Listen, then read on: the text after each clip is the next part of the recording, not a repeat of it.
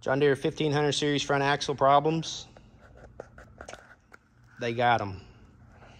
So here we're going to talk about um, what goes wrong with them, how we sell them, why we sell them the way we do, how our core rebate program works.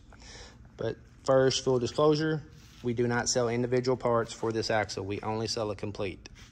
So if you found this listing, or this video, because you need some parts and pieces, we can't help you. We'll save you that phone call. We only sell it complete.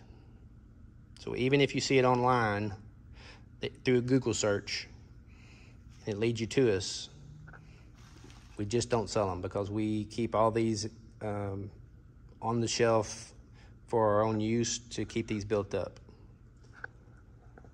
So what goes wrong with this is the input shaft area or the input area.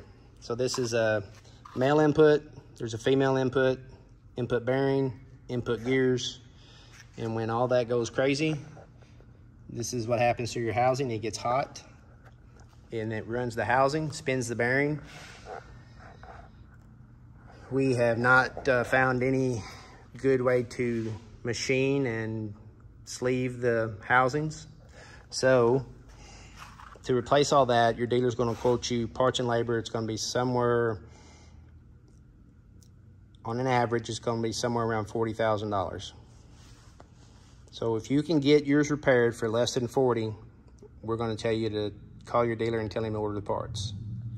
Because used parts are very, very rare. They're hard to find you're competing with us on them because we're keep we keep them balled up because we need them to keep the axles going.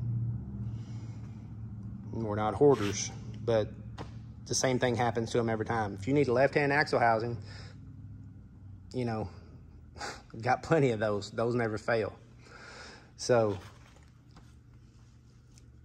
right-hand side's what always goes bad. Planetaries will go bad from time to time, just not that often. So you're at 40 grand, and that does not include going through your final drive, or at least you've got to reshim your final drive. Do you have leaky steering cylinders? Do you have bad um, bushings on your pivots? Do you have bad tie rods? You know, what, what do we know? And the answer there is that most of the time you don't know. You got your dealer knows what's happened, but a lot of times this is still up under, under the tractor to uh, they know what happened, but they don't know what all's bad. So if you have to spend 40, why wouldn't you spend, well, you're going to spend another five to have him go through the final for everything else. So our price currently is 55000 with up to 10000 on the core rebate. Core rebate is solely based on the final drive and that all parts come back. So this is a real-time example. This just came back a couple days ago. Customer did not send back the rear pivot. So he gets 5,000 and 5,000, but then he has to, he gets a deduct for a new pivot. He also gets a new deduct or a deduct for uh, new bolts and washers because ours comes with new bolts and washers. So his is going to be, I don't know what the what the price of that stuff is, but you know, he's probably going to get eighty-five to nine thousand dollars back. So we just want everything back, so we can get the next one going. That's the whole goal. You know, this is an eight-hour repair, eight to ten hour uh, swap out of an axle, but it's a forty-hour repair in the dealership and 40 hours doesn't mean five days, it means seven to 10. That's assuming no parts are on back order. So our rebuilds are gonna go ahead and have the final drives are gone through, steering cylinders are gone through, pivots, uh, new, um,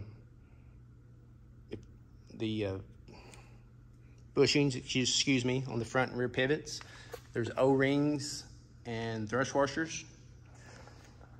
The only thing that uh, we can't do is we can't do the break-in procedure on the final drives because they have new new seals, excuse me. That is important because if you get a leak in uh, the first 100 hours, it's because you didn't do the break-in procedure. And those, you know, it's kind of, unless the seal's damaged, we won't pay the warranty. So we'd rather just be upfront with it. If your seal, because your seal won't be damaged uh, from the leak, actually if the seal's damaged, it's gonna leak immediately. So if you got an early leak, you didn't do a break-in procedure, and we want you to do that. We also want to follow the uh, OEM's guidelines. So after, just like if you had a brand new machine, after 100 hours, you, sh you should change your oil. So these are OEM guidelines, they're not ours. If you read your uh, ops manual, it'll tell you the same thing. If you have access to Service Advisor, it will tell you again that after a major failure of anything hydraulic related or runs in oil, it should be changed at 100 hours of service. Not every 100 hours, the first 100 hours. So for us to be able to give our warranty, which we want to go, we're going to in a longer extended warranty on these, we're going to supply and provide oil scans so that at the standard interval that the final drives are supposed to be checked every 250 hours. Not changed, but just checked. So when you check your oil level, you turn that horizontal. You know how to do that. You've got that in there. We send the oil, oil tubes along with a little pump on them. You put it in there, drop it in the mail, it goes to the lab. Same thing here. So as long as you do that, we're willing to go longer on our warranty because you got a little skin in the game. You're helping us with the preventive maintenance. And if there's any issue on our end, we find it. If there's any issue on your end, we find it. The goal again is that we don't, we minimize any potential warranty issues. If we do find them, we find them fast and we can get them fixed. Because that's really why you're, you know, that's why you have a forty to fifty thousand dollar repair. Is because the ag dealers just do not participate in the preventive maintenance. An oil scan would have caught this probably last year before it went out. Can't stress that enough. We can't educate everybody on it, but we can certainly put it into our warranty program that says this is how we want to warranty it. As long as you do that, we will take care of it.